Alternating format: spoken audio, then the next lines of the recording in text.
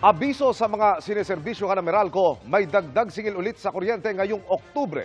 Kung magkano, alamin sa pagtutok ni Bernadette Reyes. Katataas lang ng singil sa kuryente nitong Setyembre, may rate hike na namang papasanin ng mga suki ng Meralco ngayong buwan.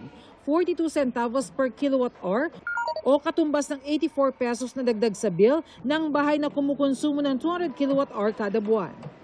Ayon sa Meralco, tumaas ang generation charge, transmission charge at taxes. Hindi naman tumataas ang distribution charge sa nakalipas na mahigit isang taon.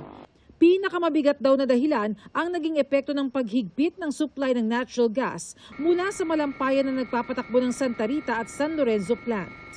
Dahil din sa malampaya kaya nag-shutdown ng San Gabriel plant dahilan para tumaas na rin ang presyo ng kuryente sa spot market.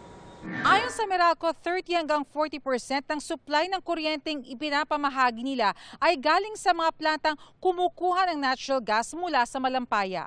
Uh, almost three times yung nangyaring uh, unavailability of gas supply. So pag, pag ganun nangyari, so we use more expensive fuel so that the power plants can continue to run. But there's one power plant that cannot use um, alternative fuel that has to shut down.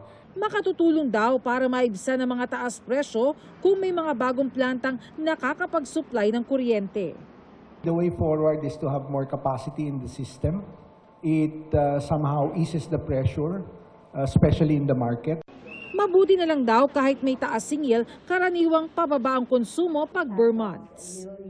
At least in terms of the consumption pattern, uh, ngayong panahon ng Kapaskuhan, mas mababa yung konsumo ng mga consumers kung kukumpara natin uh, sa panahon ng taginit.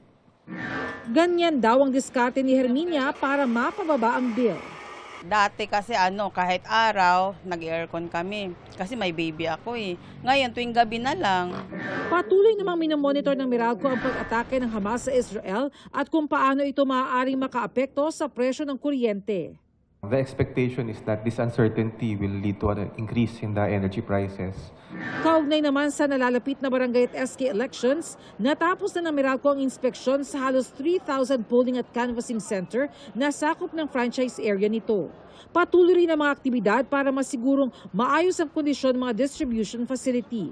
Para sa GMA Integrated News, Bernadette Reyes, nakatutok 24 oras. Mga kapuso, samahan nyo kaming tumutok 24 oras. Bisitahin at mag-subscribe sa GMA Integrated News sa YouTube. Sa mga kapuso abroad, bisitahin ang GMA Pinoy TV at www.gmanews.tv.